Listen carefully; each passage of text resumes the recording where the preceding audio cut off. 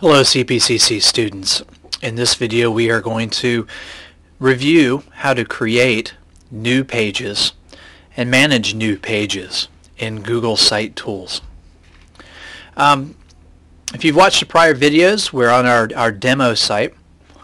Um, at the top you have a couple of options, create new page, edit page, more actions, and site settings. We're looking at the create new page option. Click on that. And on the next page, you'll get a screenshot that gives you a couple of options. Create a web page, create a dashboard, announcements, file cabinet, and list. Each of these sort of has its own structured approach to creating and managing the page. We're just going to go with the web page for now. We're going to give it a name. Let's call this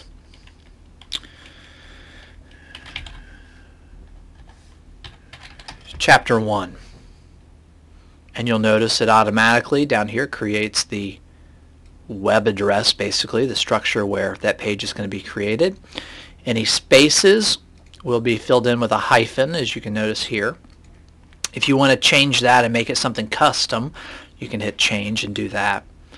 Um, you have the option below it to put the page at the top level or put the page under welcome or under another location so for example, we could create a chapter 1, chapter 2, chapter 3, and then maybe we come in and add pages for chapter 1, lesson 1, and we would want the lesson 1 page to be under chapter 1. In fact, we'll do that in the next part, but for now, we're just going to put this chapter 1 at the top level. In fact, let's do this. Let's do, let's make it chapters. And then hit create the page. All right, so we have the chapters page that we created. We can change the title, we can add some text. Again, this is the, the page editing uh, stuff that uh, you can actually watch another video tutorial about the page editing if you're interested. But after we've created our page, we hit save.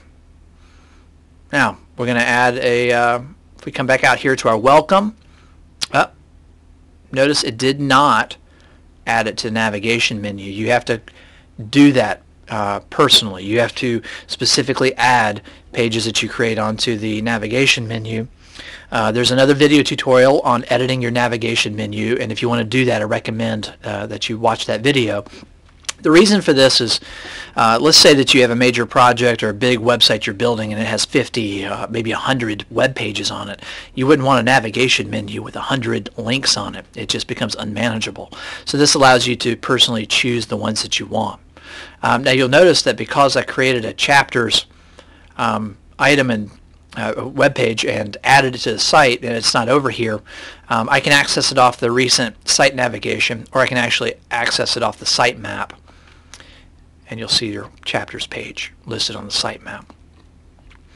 Now we can add uh, another web page and uh, let's see now we've had a chapters folder, let's add a a chapter 1 um, folder file at a chapter 1 web page and uh, we're going to put this under uh, chapters. Create a page. So there's chapter 1 and uh, I can come back to chapters and I can also add again just building on the structure. I can create another page and call it uh, chapter 2 and put it under chapters again and there it's created that page. So if I look back at my sitemap again, you'll notice I'm building a structure. Chapters, chapter 1, chapter 2. And each of these are just web pages that you can edit.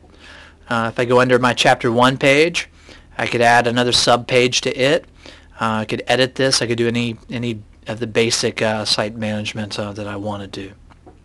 So that uh, um, is uh, everything that you're going to need to know about creating new pages. Uh, I would recommend that following this you go and, and watch the video tutorial on um, managing your navigation menu because it is applicable. If I create pages and want them to show up over here, that's important. So go watch that video and thanks for watching this one.